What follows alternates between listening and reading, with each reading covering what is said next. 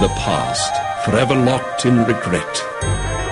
But what if the past could be changed?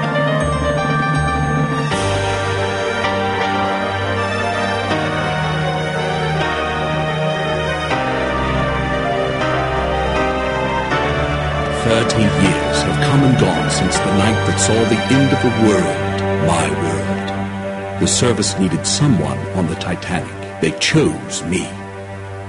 I was to wait for a signal from my contact, so I remained in my cabin.